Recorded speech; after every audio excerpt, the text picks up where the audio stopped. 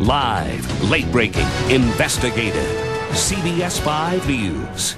And money problems aren't confined to just average Arizonans. The state budget is in shambles as well. Now, the governor and the legislature are preparing to deal with budget shortfalls in the hundreds of millions and maybe more. But current laws and mandates may leave them a little hand-tied. Tonight, CBS 5's Jeff Butera is live at the Capitol looking at what happened and what can be done. Can you explain this for us, Jeff?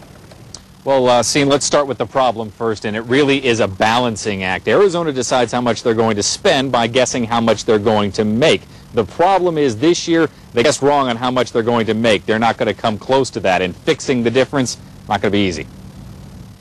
On the Goldwater Institute's website, you'll find their running tote board showing the Arizona state government is spending $888 a second. The state of Arizona spends more money in one minute than the average Arizonan makes in a year. The problem, Arizona's expected revenue this fiscal year, which would have covered that spending, is not living up to expectations, likely creating a budget shortfall between $300 and 800 million dollars. Our revenue base is very dependent on big ticket expenditures, and when people aren't buying, those revenues simply don't flow in the coffers. So now Arizona lawmakers have to fill the gap and balance the budget. One problem with balancing the budget, though, 45% of it cannot be cut. Those things are protected by the Constitution or by voters, which is basically like saying you got to get rid of some of the pie, but you can't touch half of it when you do so. Got to come from the other side. So lawmakers will have to make cuts while not touching protected money for things like school districts, health services, and the prison system.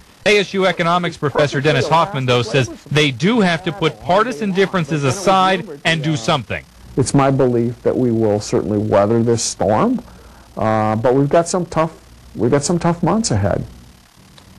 Now, the governor was out of town today. We did want to talk to her about the issue. We were able to ask her spokeswoman, though, was there anything you guys could have uh, done to prevent this? Did you see this coming? She said, obviously, they wish they could have seen it coming and done something about it, but she said, you're not going to find an economist who would have predicted the amount of shortfalls at this level that the state is dealing with right now. The economist we talked to agreed with that assessment. Live at the Capitol, I'm Jeff Butera, CBS 5 News.